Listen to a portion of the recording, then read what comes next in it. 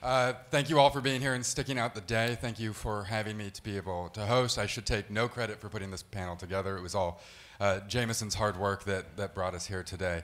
Um, and I'm excited about it as well. Uh, writing for the journal, I have at some point in time written about everybody up here and the work that they do. And so to have them all in one place uh, is my own little open free law IRL dream come true. So I'm excited uh, to have the conversation that we're going to have today.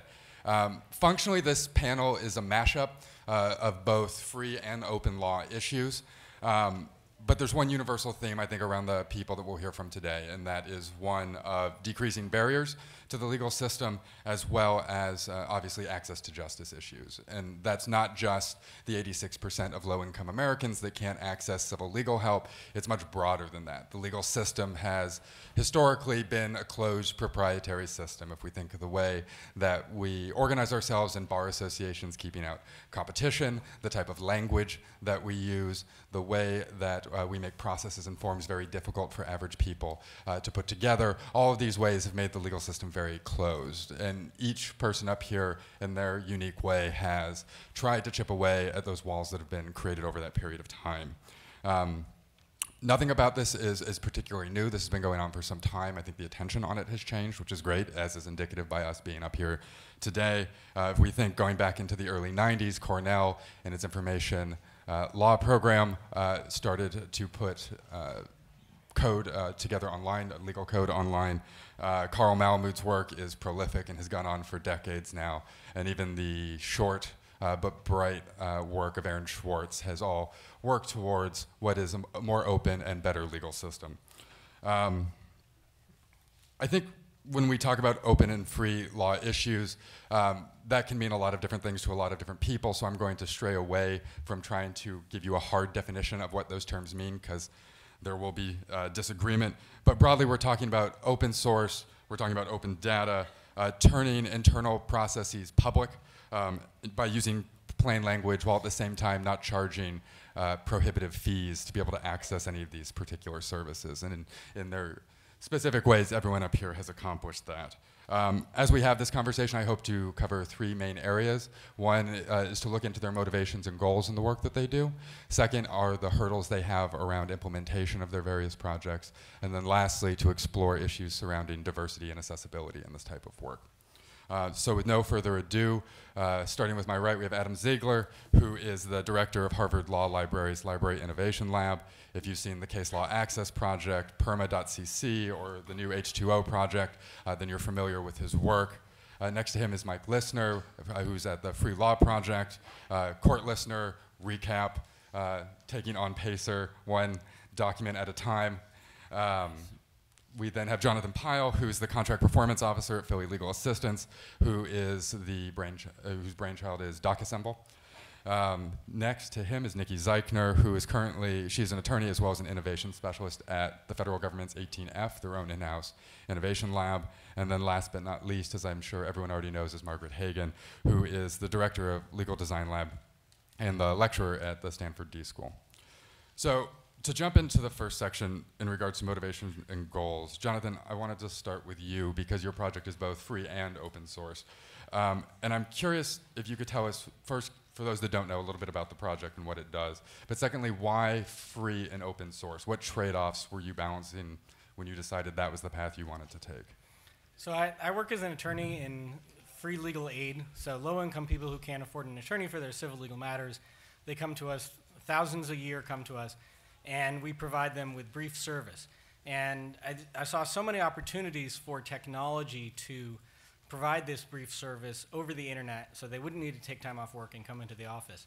And I found that there wasn't available technology to make these types of applications available uh, and easy to produce. And so in my spare time, I developed a, a tool called DocAssemble, which is an open source platform for creating TurboTax style interviews. And I know Jason doesn't like it when people say TurboTax style, but, but I, I still like the phrase. He hasn't convinced me yet.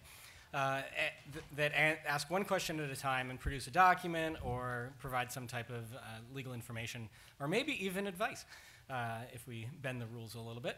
Uh, so I, I developed this, this platform and I've been adding features to it and it's being used around the world um, in a variety of contexts, from GDPR compliance, which I find very boring, to you know uh, landlord-tenant representation in the United States, which I I find exciting. But uh, people have different um, applications for it. Uh, but my my main motivation in creating this is I I see so much potential for creativity in the open source computer programming world, and I don't see any of that in legal aid, where we all learn this stuff, and we, but we keep it bottled up in our brains, and we don't share it, we don't make it accessible to other people.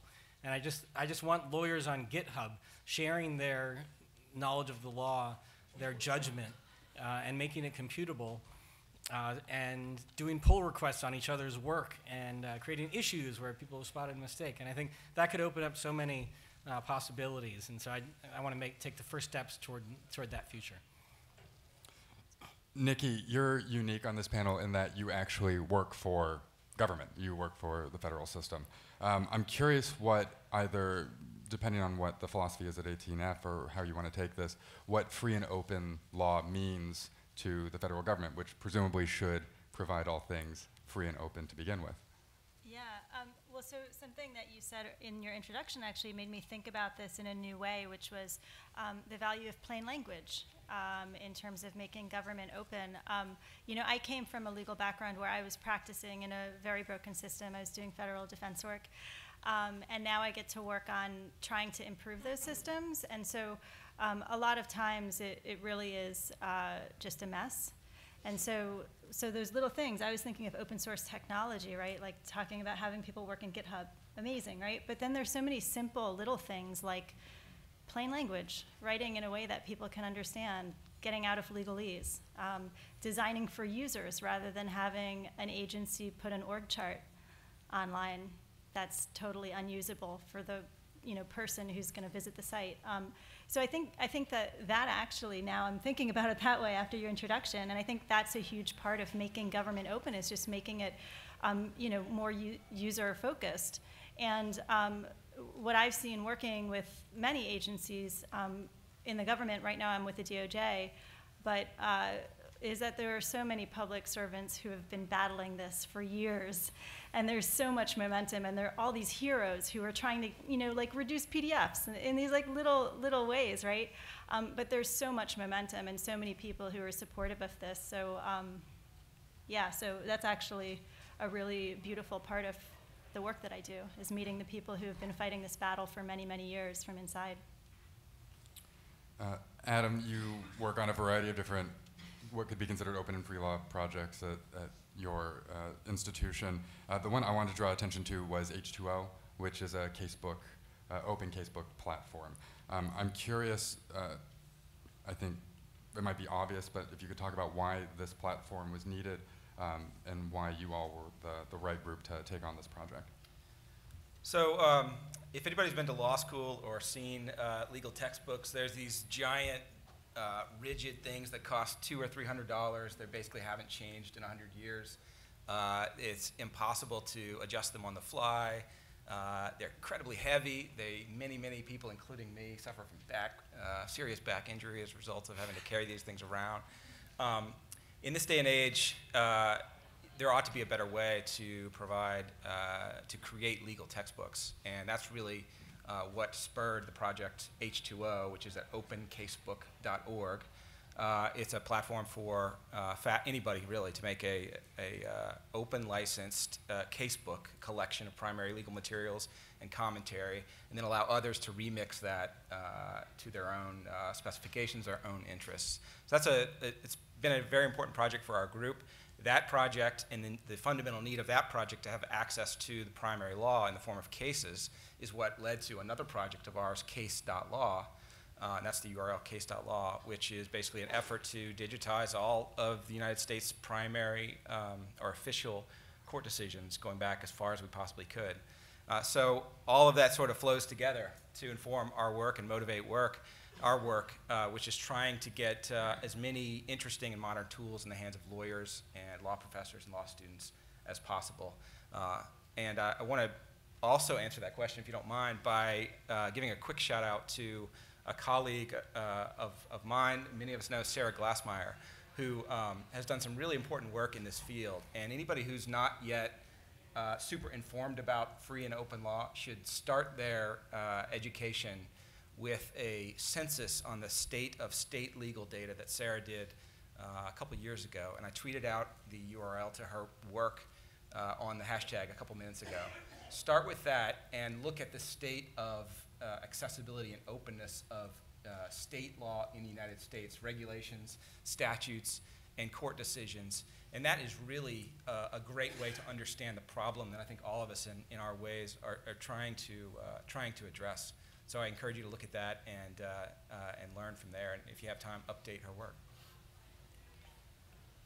Um, I, I think this question could apply to a number of the folks up here, but Mike, I want to start with you, and then people can jump in. Uh, you have decided to undertake this impossible task of collecting everything that is on the federal court's PACER website and making it public uh, for the world to use without the paywall that the federal government currently has. Um, I think this might be kind of an obvious question, but is this work that the government should have been doing to begin with? Yes. um, yeah, so obviously, you know, I think most people here are probably familiar with PACER, but if you're not, um, it's where any filing for a federal case winds up uh, bankruptcy, district, and appellate. You gotta you gotta upload it in there, and uh, when the court makes its decisions, they upload their decisions in there too. Um, and of course, everything costs money. And so what we've been trying to do for a number of years is um, look at the places. If you think of Pacer as a bucket, um, it's got some leaks, right? And we want to we want to catch anything that's coming out of Pacer accidentally um, that we can. For example, um, opinions are supposedly free. That's if the clerk checks the right box and says that it is indeed an opinion, then we can get it for free, and we do every night. We get about a thousand opinions off of Pacer. Um, there's a couple other pages that have little bits of metadata on them within Pacer that are free. We're going to get those. Um, we work with clients to get data um, that they in particular need. So then we'll work with the client, we'll get the data, and we'll also share that data with the world. Um, so now that data has been liberated, even though indeed it had to be purchased. Um, and I don't think we're ever going to accomplish getting everything unless they take the paywall down. There's, they've said that there's a billion documents in Pacer. Um, they've also said there's 500 million, so there's some disagreement within the federal government about that number. Just 500 million documents among friends. Um, so we'll probably never going to get that, but we can get the more important stuff, right? We can get the cases that um, that set precedent. We can get the cases that are important um, that people are looking at. We do that with our recap extension. If anybody uses Pacer, I won't get into exactly what recap is yet, maybe later, but um, you should install it. It'll save you money and um, we're, we're working on it. You, at some point, you just have to put a stake in the ground and say, we're gonna we're gonna work on this. So. And Margaret, I want to ask you the similar question we heard earlier today about the Open Law Commons project that you all are, are launching this week. Um, is something like that something that the government should have been working on already, or do you feel like this is a project that's um, specifically suited for academia? Well, I think, um, so we at Stanford are proposing it. We definitely don't want to own it. We find that this kind of commons idea is really great for a mix of public-private partnership. So personally, I'm very interested to see access to justice data. So getting data from Jonathan, getting data from anyone else here who works in legal aid, legal help, more access to justice space. But the whole idea of the commons is we can find other use cases as well. So contracts, or kind of corporate interest or other specific domains we want data from governments, but we also want data from kind of more private um, holders of data, case management, software owners, law firm owners. The whole idea is that we can build this ecosystem that's operating with each other. Yeah. And so I guess if you could build on that just a little bit, what, what are, I mean, as you pointed out, Jonathan here, other folks in the room certainly, there's a coalitional approach that you're looking to take. What are the concrete steps people here should be thinking about if they want to be involved in this project? So we had put up that link before, commons.law, where we're asking people to identify if they have certain types of data sets they want to get, certain kind of streams or areas of data. We might then form kind of coalitions around specific types of data or themes. Um, obviously, the main thing is kind of anonymity, scrubbing personally identifiable information. This is always the main barrier to kind of liberating data from government or otherwise. So more technical expertise and best practice setting on that um, and more data standards. Like if anyone wants to come to Stanford and have a very boring data standards party, like please, we will have that party because we need that kind of that investment in interoperable infrastructure to make sure that if we get all this data that we can really build on top of it well. I think this question makes sense, but push back if it doesn't. Um, a lot of you have taken what is public data by its nature, right? It's something that the government has created and therefore should have general access by the public. But there's a bridge that needs to be crossed between having public data and making it open data. And I'm curious what that bridge looks like. What are those steps that need to be taken? What are the headaches that you've come up against in your own work? And I pass this out to the panels to whoever wants to, to jump in on that. I I could jump in on that because um, I had a project that I don't think of as a success. So I can share you share share my lessons actually, which is the Parole Hearing Data Project. So when I was transitioning into um, like this kind of world, this this world of law and technology, um, I ended up working with some friends. I was doing criminal uh, justice work anyway, and I was helping somebody who was. Uh, in the parole process, preparing for parole hearing. And so I was dealing with, um, you know, like looking up uh, cases on the parole board site. And so I thought, oh, what if I could, you know, kind of like pull it off the site and then make it, um, you know, make it available for researchers. And a friend of mine was like, oh yeah, that's totally easy. We could totally do that. And so I made this project um, where I, I pulled the data and put it in a spreadsheet and made it available for research.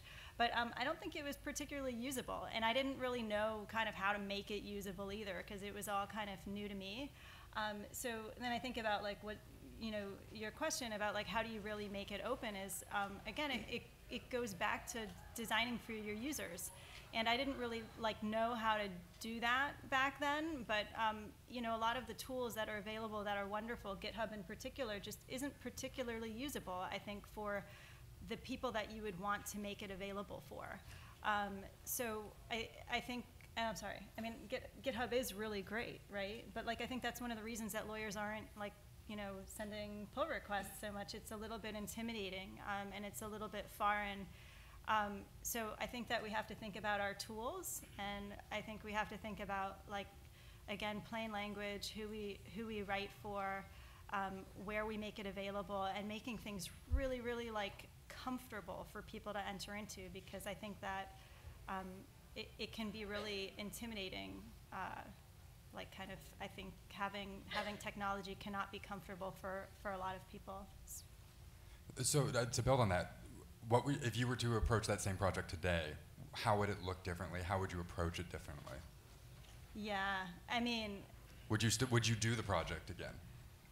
For, yeah, for sure, I would do the project. I mean, I didn't start with like user research at all, or, or like I didn't really know much about design. I just kind of was like, hey, I think I can do something. And my friend was like, yeah, we can do this thing.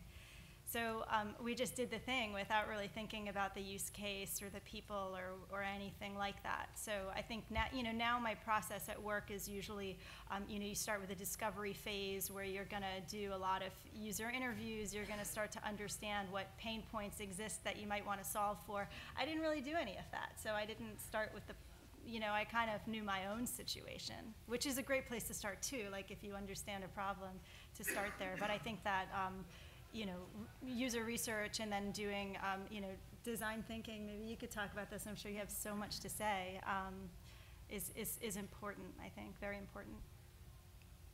Does anyone else have thoughts on the, the bridging from public data to, to open data through their work? I mean, I, I think a lot about identifiers, um, which is kind of a sad place to start, but um, let's assume that all of the data is suddenly available uh, for free on a website. Let's call it Pacer. Um, we still don't have identifiers, right? We have docket numbers, um, but it turns out some jurisdictions reuse docket numbers. So, okay, that's not a very good identifier. Um, we have case names, but case names, it turns out they also change. Not so good. Um, well, you know what? It turns out that Pacer itself has internal identifiers. Every case has an ID in their database. Do they share it? No, right? Um, if you're clever, you can kind of figure it out and you can kind of reverse engineer it. But um, you know, bridging that divide, I think it takes a, a change in thinking um, on on like what does it mean to publish data as a government entity, right? Um, it doesn't mean just putting up a website and hoping for the best. It means identifiers. It means data models. Um, it means you know tooling so that other people can access it. It probably means having full-time staff for the data, right? Somebody who's working with it, enhancing it, um, and that is not usually where we start with these things. So. Um, so I'll take a stab at that from the uh, from from our project's standpoint, and our project is the Case Law Access Project, and basically our goal was to uh, get all of the official court decisions, all the official common law of the United States uh, online. Problem with that, fundamentally, is that all of that law is in books or was in books, and uh, we had to scan it all 40,000 uh, volumes, 40 million pages. We had to scan it uh, in a way that also redacted uh, content that had been added by the publisher of the book, uh, you know, to help readers of the book, but also uh, had the effect of encumbering the government data, the public information, with, uh, with, with other stuff that made it even harder to get out. Huge, huge obstacles that made it uh, uh, th- that made it extremely expensive and extremely time consuming, consuming to do it. Courts are still putting their official case law in books.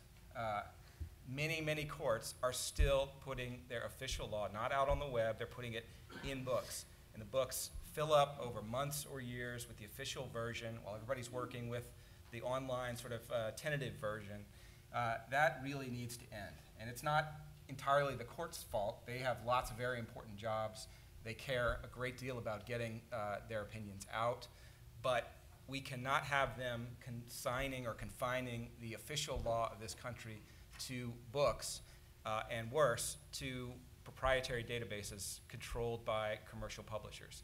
The official law should be available to everyone online in the first instance. To the extent we need or want books, those should be created as secondary products. We can all have whatever books we want of whatever law we want. Anybody building tools uh, to make use of this data should be able to access the data from the courts, from the, from the governments, and, uh, and build their tools around it. No one should be able to exert uh, exclusive control over the law in this country. That's a huge, op- that's a huge obstacle. Um, a lot of people in this room are doing really important work to try to bring those walls down. There's a lot of work to be done, and I'm probably too optimistic that it can be done uh, in the near term. If you're interested in that, let's talk because uh, we're really focused on that uh, in our lab with our group, and there's a lot of uh, a lot of potential, I, I think, there. And I think there's an intersection there, right? Um, I'm talking about identifiers. He's talking about books that aren't published for often years at a time, I believe. Yeah. You don't even have a citation for a uh, for an opinion for years. That's a crazy state of affairs, right? Um, and it's there's a really simple solution. It's called neutral citations. Some state courts have implemented it. Um, it'd be great to get it at the federal level too. Um, but it's uh, you know it's little little fixes like this along the way, and then big sort of um, political fixes and shifts. It all adds up. Uh, And to build on that, then, recently there's been there's something that Carl Malamud has been invested in is suing the state of Georgia over whether or not a copyright could be applied to their state code, and he seems to be uh, winning um, at the moment. Uh, we'll see what appeals look like. Um, this happened last fall for those that uh, haven't heard. The, the state of Georgia, if I remember the case correctly, and correct me if I'm wrong as I do this from memory, um, was allowing a for-profit company to use uh, the state's code, uh, essentially putting a private copyright over public uh, legal code. Um, and Carl Malamud sued them uh, because you can't do that because it's public information, and he won um, both at the district and I want to say the 10th at the 10th Circuit, if that's the right circuit. Um, what? appeals. Yeah, at the Court of Appeals. 11th Circuit. 11th Circuit. Thank you. What should we take away from this? Is, is this just one flash in the pan? Is this a sign of things to come? I mean, Georgia is a tough state. I, I'm just gonna say, like, Georgia is has real budgetary problems. Um, for a long time, the clerk in Georgia had an AOL email address, right? Um, that's what that that's th- I, that's kind of where I start my thinking on on this particular thing. Um, but on top of that, there were financial interests that were misaligned, and um, and Georgia probably because of budgetary problems, relied on a commercial vendor to produce the annotated state court. Um, those annotations were official, according to Georgia, um, but they were also copyrighted, and now we've got a problem, right? Um, we have copyrighted official laws, and that's what the lawsuit was about. Um, and you know, Carl Malamud did really well on that. Um, and I'm sure we're going to have more of these misalignments where incentives and contracts and money are just not lined up in the public's interest. And we're just going to have to keep knocking them down and setting good precedent. Are there any particular battles brewing that we should be aware of to keep an eye out for? Is this a, lead into the Pacer lawsuit? It wasn't. Do you want it to be? no, I'll, I'll let somebody else. um, Well, real quick, I mean, um, there are, there's legislation in Congress now that's got bipartisan support to completely remake the PACER system, uh, make it free and accessible to everyone online. Everybody should use whatever tools they have to support that. Uh, We'll see if anything can get done in Congress. Uh, One interesting feature of that legislation is that uh, it actually uh, invites states to take advantage of uh, that same open system to set up their own dockets, which, so we could have, you know, 50 pacers all over the, all over the place in every state. I'm not sure that would make Mike happy, but um, it's interesting. we were actually opposed to that clause. But it's interesting, like, there's a lot going on, uh, and, uh, you know, I think that's a big battle that's coming. You know, there, there are companies that are attempting to seize control over those state court docket, electronic docket, electronic filing systems. That is a mistake for the states, and I say that, you know, obviously not understanding uh, their, their budget situation, but in terms of access, they're gonna run into exactly the same problems that we're all complaining about uh, with Pacer, and so we ought to get in there and see if we can help with those problems. Nikki, I want to ask you a question about criminal justice data because, as you mentioned earlier, your first project was based around parole, which is how originally uh, we got connected. Um, I was talking to a colleague recently at John Jay College, and he, I asked him about the state of criminal justice data in the United States, and he said uh, it's just ineffective enough to protect our civil liberties. Uh, the idea being that the messy, siloed nature of criminal justice data is actually more of a feature than it is a bug. To bring all those things together uh, could, in fact, impact people's lives more negatively that are already uh, in the criminal justice system. Um, I, I'm interested from your perspective if you see these same types of harms in cleaning and structuring criminal justice data in a way that uh, may lead to these problems that my colleague at John Jay uh, worries about. Yeah, and I, I think the, I think it was the last panel, right, where people talked about the potential risks of, um, yeah, of just having government data open. Um, and like, you know, who's, who's handling it, who's making the decisions, um, around how it gets processed. Um, but I, I always think of, um, criminal justice data, or any data really, it's kind of a reflection of, um, the source. Like kind of like if you hear a conversation, is it really about the information or is it more about the person telling it, right? So, um, you know, these data sets are maybe about um, arrests or police activity more so than um, the people who are actually, um, you know, arrested or, or, you know, the accused. So I think that that's something that I always get frustrated about that people don't really recognize that. They'll take police data. We were talking about this earlier. They'll take police data and then say that that's crime data, but but like people who are arrested are then going to go through the judicial system and they might be acquitted, right? Or they might be found guilty of a lesser charge or something. So the arrest data is really not reflective of, of crime, right? So I, yeah, I just think that, I don't know if I'm even rambling or answering the question, but um, yes, I think that there, that it's complicated. Um, Are, are Yeah. there things that people can do that are working on? Because Measures for Justice out there is out there now. If, for people unfamiliar, Measures for Justice is a nonprofit from New York State that is going literally county by county to pull somewhere between 15 to 25 data points uh, in, in criminal system uh, data. Uh, w- interesting, especially in regards to plea deals, which is an area of data not usually collected and made public or aggregated for that matter. Um, Florida has passed a law based on their work recently that's going to put a whole lot of personal identifiers online in regards to people's uh, criminal justice uh, contact.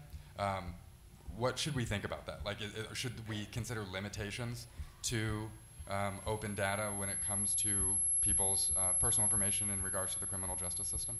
Yeah, I mean, I, I think that's a that's a hard thing to answer, partly because so much of it is out there already. Like if you look at state by state, some states have mugshots attached to um, cases. It's it's like hard for you know, it's it's like very bizarre to see, but there's so much out there already. Um, but what I want to say about measures of justice that is so remarkable, Amy Bach has been doing amazing work um, for years, actually going into the courts. And I think that that's kind of like a really, really important place that we don't have enough data from, right? Is like actually what the dispositions are. I mean, to, to the earlier points made, um, you know, I think that they're they're doing really important work. But it's really hard for me to say kind of like what the like without kind of having more context what I think those parameters should be of what what is available and and what's not. I, I guess then to build on that, um, Mike, I saw you tweeted about this. I don't remember when. Um, you got a right to be forgotten takedown notice uh, for data that you had in CourtListener. Yep. Um, what does open data, court data in the United States look like in a right to be forgotten world? So this is a, a tricky question, right? Uh, this is the GDPR. It was a GDPR request. Um, we're an American organization. We are not beholden to Europe's laws. Um, and so we sort of approached it from two angles, right? There, what's our moral duty? Um, what's our technical duty? What's our legal duty, right? We want to try and analyze it this way.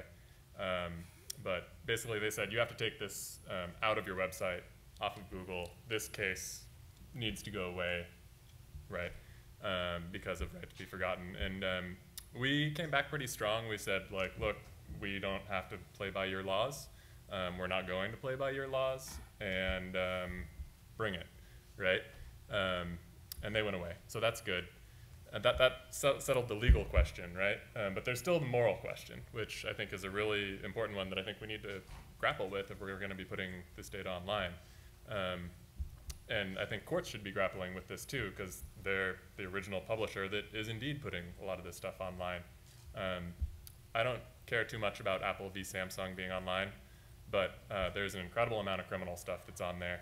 And um, once it's online, it's pops, you know, shows up all over the place, and um, it's really hard for people to get rid of it. I they write me emails regularly, and um, I debate this regularly. There is value, like, um, yeah, if somebody is a murderer, maybe it's not so bad to have their name online saying that they killed some people, um, but there's there's a very sliding scale between, you know, what should go up, what shouldn't, what's in the public's benefit what's in a you know the detriment to a private individual or even a private organization.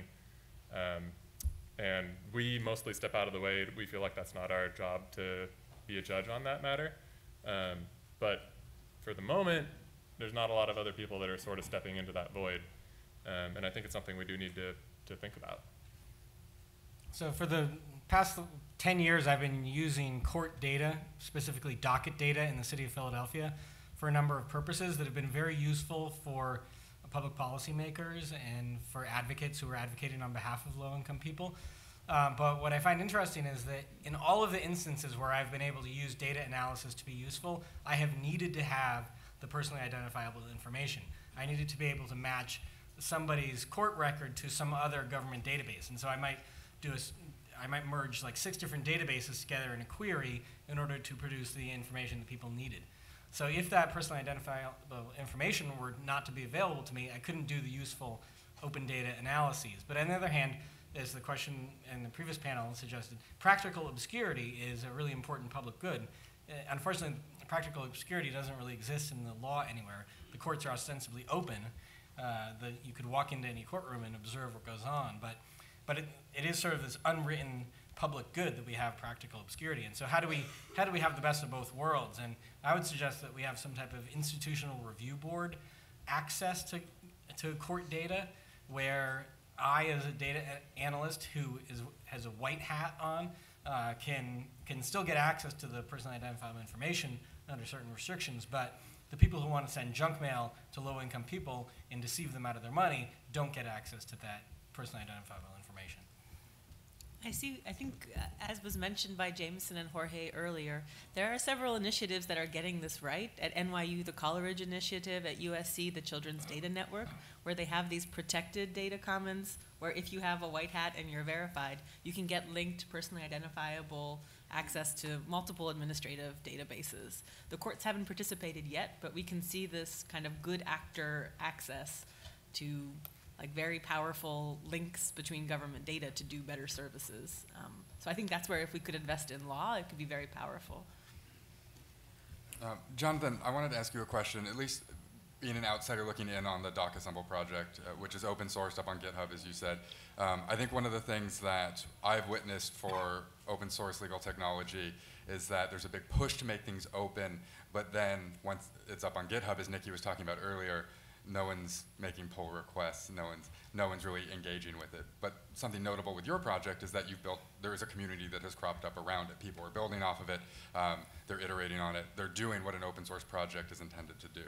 So I'm curious, like, did you intentionally seek out to build a community around this project? How did that come about, uh, and what can other people do if, if they're looking to accomplish a similar, similar goal with an open source project? Well, to some extent, I think it's if you build it, they will come. And, but unfortunately, it's usually the rule that if you build it, they won't come. And you need to do a lot of promotion. But in my case, people just found out about the project through Google searches, and uh, they were really interested in developing these types of apps. And so they used it. Um, I don't know that my, my project is a model of open source in that a lot of people are contributing to the code, because it's still very much a labor of love for me and so I contribute 99.9% of the, the code, and the changes that people make are, are kind of just on the margins. And I think that's how a lot of open source does work, is that there's some, some individual who's really committed to things. But I think that's okay. I think we can have a, a powerful open source community where somebody's a geek about something, and they, and they make a module that is just very modular, and that can be used by other people. And it's okay if it, if it's not, if it doesn't have 16 collaborators. Uh, as long as everybody has some pet project of their own, if we combine everybody's pet projects together, we can uh, develop very powerful tools very quickly. And I think there's a lot of potential to that in the legal world. But yeah, the, the community kind of developed randomly. I created a Slack channel, and before I knew it, there were 270 people in it asking questions every day from around the world. Um, so it, it kind of, I think the, the technology really does facilitate that type of virtual community. But, but you did put, take the extra effort to put together the infrastructure for a community to take root, right? Like that's a step further than just putting your code on GitHub. Right? Uh, yeah, I think so. At, at, what point did that become necessary? Like, did you get a critical mass of emails and you're like, I can't do this anymore? We need to open up a Slack channel. Like, what did that look like? No, it was like some person emailed me and said, "Hey, is there a Slack channel?" And then I and then I created it and I said yes. Uh, that's just how it goes. I mean, it's kind of nice.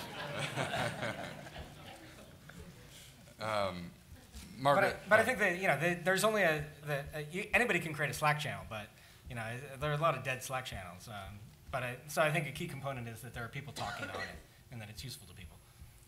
Margaret, I want to shift the conversation towards uh, accessibility and diversity. And um, you've spent a lot of time talking about, thinking about user-centered design, bringing broad coalitions together on these projects, just like uh, the one that was talked about earlier today. I'm curious if you could talk about what design principles do you think are the most important to make open and free law projects as, as diverse and accessible as possible?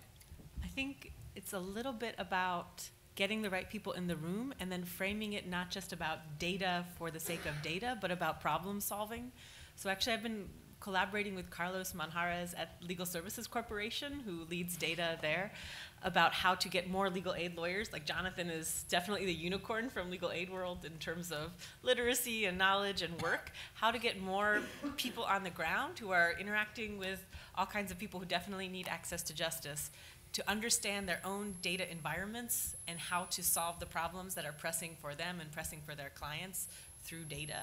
So this kind of literacy and agency uh, to expose more people to feel that they can participate in conversations like this one and make use of data once it's made free, as well as kind of knowing the value in cleaning up, structuring, and sharing their own data. So we need to have more of those kinds of sessions where it's not just like a panel of us talking about how great open data is, but more interactive, kind of um, non-techy ways of talking about information as a problem-solving tool, and then scouting out coalitions of people who want to pool data and build applications and use it to solve problems. The other thing that's been coming up a lot lately, especially at LSC's big ITCon in January in New Orleans, is community governance. So just like Nikki was saying, I don't know what the limits are in terms of what we should put out there or not put out there. Like we should be asking a wider set of community members about what possible consequences they're worried about, what that line should be. Like that should be a community conversation. I think right now there are advocacy groups like ACLU who are taking a strong point of view. Then there's kind of institutional folks at the courts who are taking a strong point of view. But lost in that mix are actual people who are not representing a certain organization. So we need to figure out something where we're having a wider community who are part, who are knowledgeable and trained in this kind of data talk and algorithm AI talk, um, and who can weigh in to kind of set those standards in a better way. Um, earlier this week, uh, the Legal Informatics Institute at Cornell Law School posted that they would implement uh, accessibility standards to all of the technology, um, not only at the library but at the university broadly. And this is to take into consideration people that are blind, for example, that have to use uh, reader software because they're unable to otherwise access the information on the page, uh, to make sure that websites are built and software is built in a way that you can navigate it with a keyboard if you don't have the appendage to be able to use a mouse. Uh, these are just two examples. Um, I'm curious to what you all see in regards to this type of approach to accessibility in the projects that you're developing and, and how it has come around of whether or not you're having those discussions in your institutions. Um, this is incredibly, incredibly important and hard for lots of people who aren't steeped in it and aren't uh, haven't been trained in it. So it takes real work and commitment, I think, to make a to make a dent, to do the right thing. We're very fortunate on our team to have one of our developers, Becky Cremona, who is a complete star on accessibility uh, with software, and she has uh, really educated me and the rest of our team in uh, how to do the most important things uh, where to emphasize, where to prioritize, where to emphasize, emphasize our work in a really practical way. So we're fortunate, and one of the things we think a lot about and would love to explore as a you know a potential project in the future is how to package or how to uh, productize is not the right word, but how to create resources and tools that make it easier for people in this space uh, who don't have a Becky on their team to, uh, to do the right things as well. Um, that's been our approach, uh, and we're very fortunate, but I have to attribute pretty much all of it to Becky. Um, so I'm currently working on a project with the Department of Justice's Civil Rights Division, and we're building um, an online civil rights complaint portal. And accessibility is something that really came up for um, all of the folks that I've been working with at the Department of Justice. And these are a lot of stakeholders um, within different litigation departments of the Civil Rights Division. So um, accessibility has been like a very important conversation that we've had. Um, there was recent legislation passed. Uh, it's called the uh, 21st Century IDEA. The last A is um, ACT. I can't remember what it stands for. I'm sure the internet can tell you. Um, but it requires federal uh, websites to abide by certain certain standards, and accessibility is um, a key part of that because there there is the intention to make um, you know to make government services accessible um, in a much better way than you know than than currently agencies do. And I'll just plug, we have a accessibility design review as part of our Better Internet project. If you search Better Internet Stanford, you'll find our like 10 tools that you can use to review if your website is accessible. We meant it mainly for courts, but there's lots of automated ways to run these checks and then to kind of repair your code. Margaret, on that point, uh, oftentimes what I see when organizations start talking about these accessibility standards, they've already built whatever platform it is they have, and now they're coming back and they have to figure out how to force this into code that already exists when it would have been easier to implement it at the beginning. I'm wondering how you approach that. Or you, are you just like implement these standards from jump, whether or not you talk to a blind person in your design review process, or um, how would you approach that? So, uh, well, I depending on what platform you are on, it's easier or harder to retrofit. If you can invest in a design process at the beginning, of course, do so and have language accessibility and other types of accessibility as a primary thing that you're focused on. That should just be part of good design. But we know that's a luxury that not a lot of courts or other legal aid groups can invest in. So there's ways to retrofit. If you're on a platform more like WordPress or Drupal that have more plugins, there's very easy plugins to get your code better and to make it more accessible. If you're with a vendor that doesn't have plugins, you should change your vendor, but that's hard to do, I know. Um, yeah, but it's, I think it should be a requirement. I think it is a requirement under ADA, so it's worth doing it before you get sued as well. So, yeah. Always good advice. Um, the last question I had on, on the diversity front is everyone up here is from an academic institution, the government, a nonprofit. Uh, what's the role of private industry in the open and free law movement? Well, they can give their data too. So if you own a software company, if you own a, a, law firm, what kind of data can you make open that could improve access to justice and empirical research about improving the system? We can help you scrub your data. It would help us a lot up here. Well, one of the things that's happened with my free and open software is that a couple of startup companies have taken my software as a sort of baseline and then added to it and added some user-friendly front ends and monetized it for, uh, for themselves. And they have not released their code as open source, which I think is fine because I was using the MIT license, which explicitly allows that. But I think that's one of the ways that open source can catalyze things, is just by develop, developing a really good baseline uh, of basic tools that everybody needs, and then the, the for-profit world can find creative ways to uh, get a revenue stream to continually improve upon that. Uh, so, I, so I think open source and the private sector work in symbiosis. Any other thoughts on courting the private industry? Oh yeah, I have two. One is that um, you know private vendors always um, work with government and nonprofit institutions. So um, you know, one, one of the things that we do, I work for um, 18F, and we're part of the federal government, but we really try to push for open source software. And um, we see, you know, a lot of the times that we work with agencies, we see that they're struggling because they have these contracts with vendors that use proprietary software.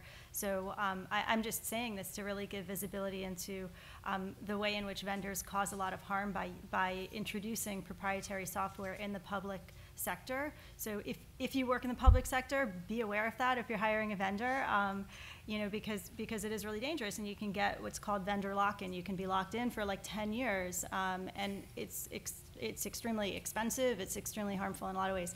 Um, and then uh, what else? I, I, feel like I had. Um, oh yeah, and then another thing is just that um, you know the private industry pays for a lot of things too, right? Like private law firms oftentimes um, are huge supporters of um, you know public initiatives. So um, so that's another thing to think about if you're with a private institution. Like, how do you want to make contributions um, to this type of work? If I, if I could, mm-hmm. um, I, I, think sometimes we uh, people who are committed to open law, free law, underestimate the potential for partnerships with uh, uh, commercial entities, private entities. We, our project was the beneficiary of a very early partnership and critical partnership with Ravel, who y'all, many of y'all know. Uh, they essentially funded the digitization, the scanning work, uh, in exchange for various commitments on both sides to make the data publicly accessible. And uh, Lexis, which bought Ravel, now carries those same obligations uh, and commitments forward. And that's a really positive thing. But the data is not as free and as open uh, right this second as we would like, and there's some trade-offs. But I think that's healthy and productive, and uh, I know there are a lot of uh, things sort of simmering uh, on the, the, the, public or, or free law private partnership um, realm that I hope uh, people invest in and, and take, take very seriously.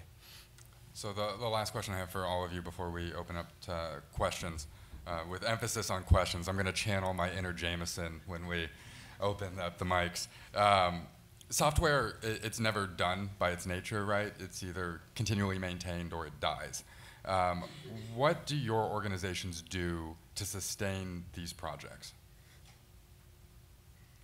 I mean, it's it's tough, right? It's a it's a money question, um, and we we had somebody come to us the other day and say like, uh, you know, your name is Free Law Project, you should do everything for free, put it, the code online, and people will come and they'll maintain it. Um, and they were fervent about this point. They, they would not back down from it. And um, like, yeah, our name is Free Law Project, um, but we mean free. There's a lot of meanings to that, and it's it's a tough problem. You need you need to find opportunities. Uh, you know, as a nonprofit, we need opportunities where we can actually pull in money to sustain full-time development of the software, um, and that's not just maintenance, but it's also like we, we have 200 scrapers that are going to the state courts to get the PDFs of the opinions every day. Um, those take every those take maintenance. Um, that takes money. It's it's a money question, right? Um, and so you just have to find these strategic alignments where you can work with. Uh, we work with journalists. We work with um, you know other nonprofits. We work with academics. We work with for-profit organizations where everyone's a winner. Um, and that's actually been our, one of our primary challenges is sort of finding that spot where everyone is happy working together, paying money, um, achieving a public good. Um, and I, I think that's a huge challenge. If we want to have nice things, we have to find ways to pay for them that um, people want, right? So, Other thoughts?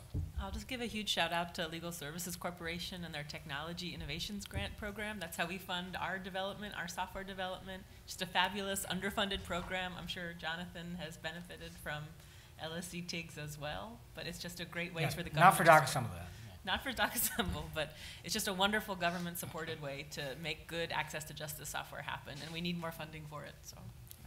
yeah. Amen to that. Federal money for legal innovation, essentially, right? Mm-hmm. Um, And what about the- work, especially with the case books, right? Like, once they're up there, do- they sit? Like, what's the level of maintenance that's going to be required to make that project sustainable? I mean, the case books at this stage, unless uh, it scales mightily uh, in the near term, are, is pretty trivial compared to the cases themselves. Um, and uh, to be totally, uh, uh, I'm extremely lucky and extremely blessed to be working at Harvard inside the law library, which has tremendous resources and has made a uh, major investment in the work we're doing. That's uh, we're beneficiary of that. I do think one twist that I think is interesting and important for for us is that we're based inside the law library.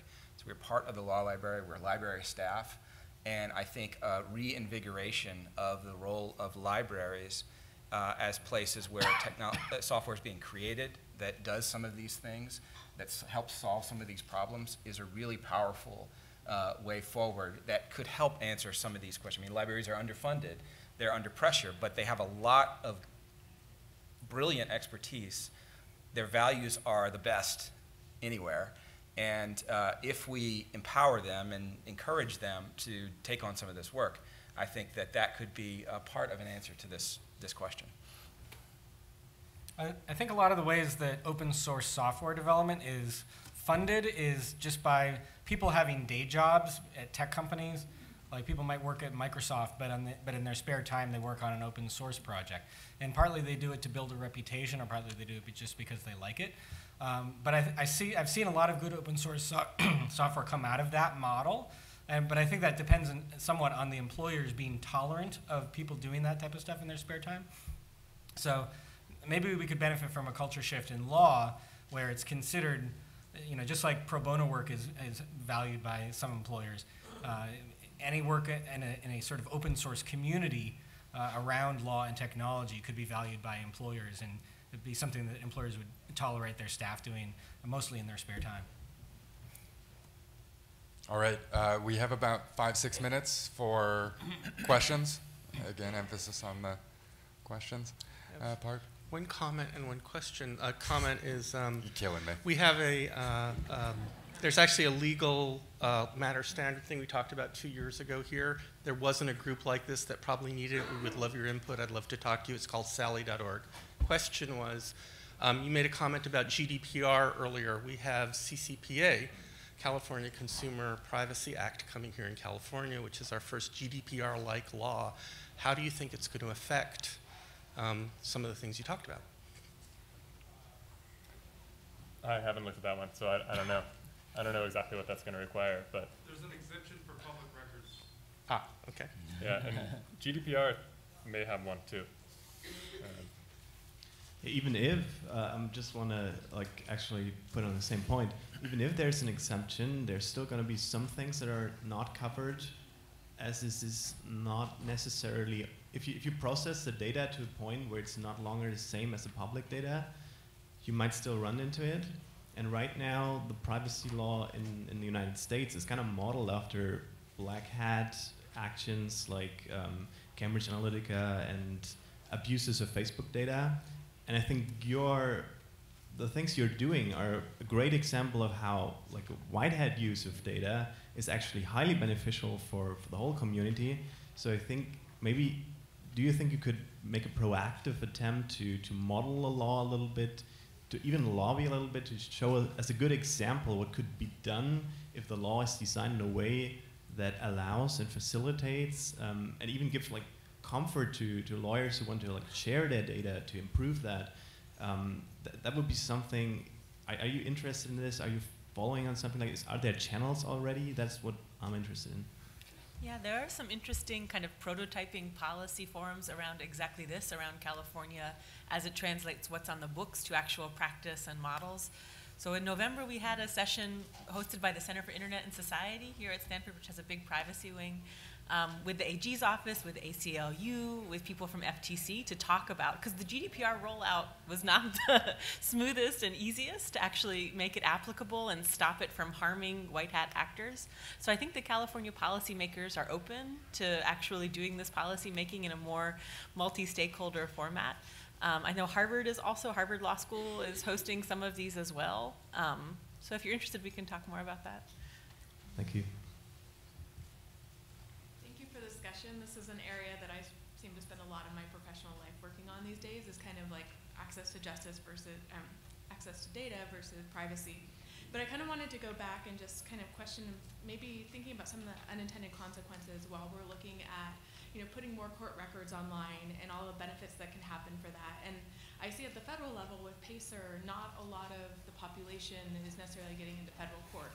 But when I look at our state courts, a lot of people go to the state courts and they need to use them, you know, for their daily lives and for really sensitive, you know, very personal matters. And just wondering if there's a concern or how to mitigate that for if we might, if this information becomes more widely accessible online, um, if that might affect access to justice, which is exactly what you're trying to be able to facilitate, and kind of how, you know, courts and, um, and other government agencies can kind of mitigate those concerns and harness the benefits of that open data.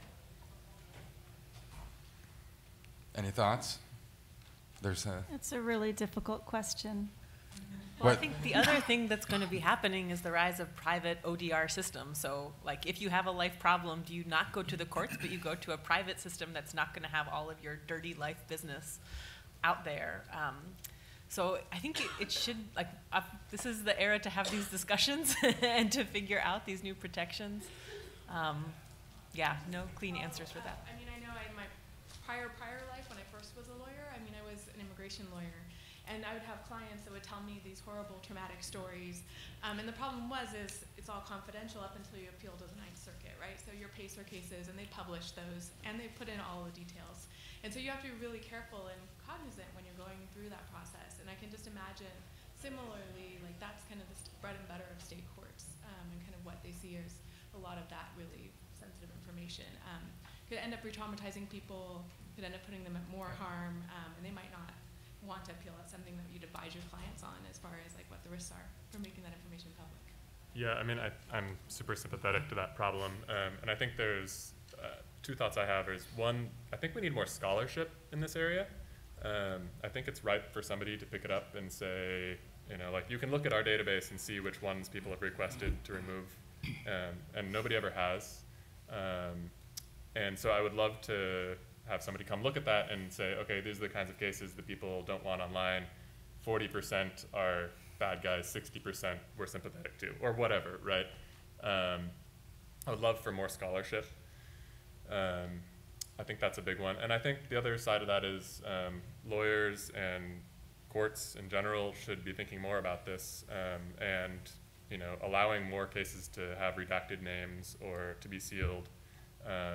Especially ones that are um, considered, you know, non-precedential, unpublished cases. we don't need the person's name in there. There's not a whole lot of value that comes from that aside from having a handy thing so we can say, you know, so and so be so and so. Um, so All right, we've got 30 seconds. It's, it's a quick question, but um, there is a lot of good discussion about um, accessibility to data for in the legal space. But I'm curious, what do you think are the obstacles for like downstream accessibility and readability for citizens, um, especially like in the cell phone generation where we all have phones? I wonder what would make the law more accessible to average day people. Putting it online. I mean, real quick, I think that's, I I think that's a, a a really smart question. Um, The primary law is not that useful to people, to most people, uh, if you're not lawyers, and sometimes it's not that useful to lawyers. But I think the, the primary law being open creates opportunities for a new layer of translation, interpretation, summarization that can be, uh, that can, lawyers can play a role in that, in informing citizens of what the law means, uh, once the law is more open. Um, and who knows, machines could play a role in that too. So I think there's a lot of potential actually to, to get at some of those, some of those challenges. I, I also think it, there's a there's a cultural issue. Um, I think lawyers have to start being open to letting go of the exceptions, right? Because I think part of the problem when, when lawyers communicate is like they're, you know, but there's this exception and that one and this one and this and that, and then suddenly it's like a ton of text, right? And I think that there has to be uh, some way of compromising and making a decision about what is the value of maybe letting go of some of the text for the, the benefit of, you know, giving giving a broader understanding of the key the key point, right? Um, and I I do believe that that shift is going to have to happen just because culturally that's happening to all of us. I think, um, but but I see it also as a culture issue. And speaking of exceptions, uh, Jameson is going to be allowed the, the final question. This is more of a comment. As we move toward more project-based and experiential legal education, how can we encourage uh, both professors and law students to use open source tools rather than proprietary tools to develop those projects? Yeah, I make all my curriculum open source, so now I have three of my former students teaching exact replicas of my class in Guatemala, Mexico, and Colombia this year. And like, if you want my curriculum, you can have all my slide decks and my syllabi. Like, just like the last panel, how do we make more legal education? We make it really easy to replicate like what I think is a good class. You can improve on it, what I teach, but like, it's not a secret. I want more people to teach like I do, so I make everything I do open source. Um, maybe Yeah. the answer is make it easier. You know, let people make casebooks um, with open sources. That's now now you've got a whole classroom of people that are used to that sort of a world. Um, I don't know. Give give people a reason to do it. Change the expectations. Yeah. I mean, I think the big thing is legal research, for example, should be taught not just on the um, paid tools and databases that are most likely to be used in large law firms, but on all the free resources, including where they fall short, where they're problematic. That should be like a core component of every single le- legal research uh, course. It is of many already, but it could, al- there could always be mo- much more. Excellent. Well, thank you uh, very much for you all coming together. Let's give them a round of applause. All right, thank you very much, Jason.